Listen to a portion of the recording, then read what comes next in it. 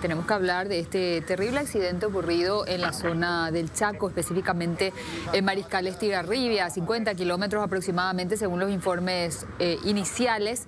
Y se habla de unos tres muertos, pero ya dejamos a la autoridad competente que nos cuente qué es lo que se sabe oficialmente hasta ahora. Comisario, buenas tardes. Comisario González, ¿nos escucha?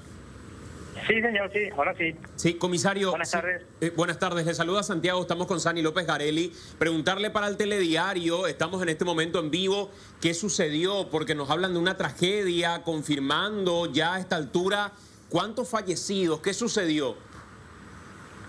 Sí, así mismo, sucedió un siniestro, una caída de una aeronave donde fallecieron tres personas. ¿Y cómo, Aparentemente de nacionalidad americana. Cómo fue este episodio? ¿Qué, qué, hora recibieron el reporte exactamente? ¿Qué fue lo que encontraron al llegar al lugar? Si podrías relatarnos detalladamente, comisario. Sí, señor. A eso de las 15.30 horas del día de hoy, recibimos a través del sistema 911 esta información donde inmediatamente acudimos hasta el lugar donde fuimos recibidos por los encargados del establecimiento, a la altura del kilómetro 491 de la ruta Traschaco, unos 4 kilómetros antes de alcanzar la entrada a la Laguna Media. Ingresamos de la ruta unos 8 kilómetros. Y en uno de los potreros que ahí observamos encontramos todavía humeante el resto del avión. Y ahí estaban los tres cuerpos esparcidos. Realmente en una, una situación desgarradora los cuerpos O sea, por la forma... porque aparentemente si se estrelló la aeronave se estrelló de punta. Pues según algunos menores de edad indígenas que vieron que el avión hizo un ruido extraño y se vino abajo así en, en picada.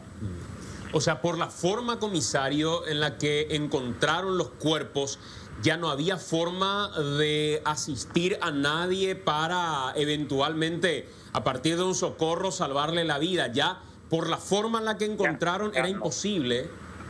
no estaban descuartizados los cuerpos Qué, Sí. qué bárbaro. ya no había forma Pero Ya son- no. terrible fue el, el accidente Son- el impacto Todos ciudadanos americanos. Aparentemente, porque encontramos muchas cosas se quemaron y algunos documentos que no se llegó a quemar, que son de los dos varones. Hay una mujer entre ellos. Y lo- lo- los documentos que encontramos eran de, de nacionalidad americana. Y el, el- De la mujer no, no, no logramos encontrar, porque varias cosas se quemó. Ajá. Aquí también casi en su totalidad se quemó el avión y se desarmó completamente. y la, la- Se estrelló primeramente por el suelo, después se fue a chocar por un samú, por un árbol de coronillo y ahí se, se esparció la avioneta. Qué bárbaro. Comisario, ¿y la, la avioneta sí tiene matrícula paraguaya? Sí, tiene, tiene. Llegamos a conseguir porque en, en un portafolio estaba estaba el registro de la, la documentación de la aeronave. Mm. A través de eso, porque el ala completo se quemó, era imposible identificar por el resto del avión. ¿Y a quiénes, a quiénes identificaron hasta este momento, comisario? Identificamos que es piloto, un estadounidense, Kiat Win Killebrecht.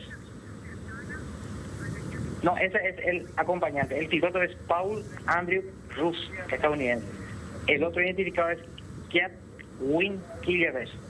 Y eh, una tercera persona que es una mujer que no encontramos ninguna identidad, ningún documento.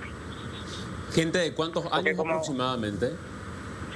Y tiene rasgo alemana, suiza, algo así. Tendrá ya por los 45, 50 años cabello corto. Tiene tatuaje en ambos brazos. Una mujer de estatura mediana, pero ya el cuerpo estaba reducido. Pero más o menos esa es la apariencia corporal. Co- comisario, ¿y las demás personas que sí fueron identificadas, cuántos años tienen? El piloto tiene 44 años. El otro, no, Paul, el piloto tenía tiene 35 años. El otro acompañante, él, tiene 44 años. ¿Y estas personas de dónde habían salido? ¿Se tiene la trazabilidad del vuelo que realizaron? ¿Qué se supo hasta el momento? Según informaciones preliminares que nos brindó gente de la DINAC, el 27 de noviembre salieron de Asunción con destino a Loma Plata. Y de Loma Plata realizaron varios vuelos internos acá por nuestra zona. Y el día de hoy salió de Loma Plata hasta nuestra zona.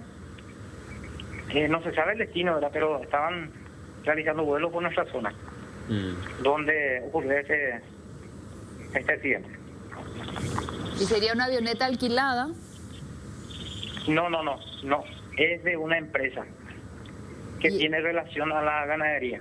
¿Y esta gente vino invitada por esa empresa o trabaja para esa empresa? Trabaja para esa empresa. De Salto del Guairá creo que tiene la, tiene la empresa. Ahora, co- comisario, el, el- el lugar en sí, para situarnos un poco, vos que conoces con precisión, ¿dónde mismo es? ¿Cómo nos situamos en el punto en el que sucedió este accidente? Bueno, kilómetro 491. Queda entre el, el, lugar denominado Cruce Toledo y Mariscal Estigarribia.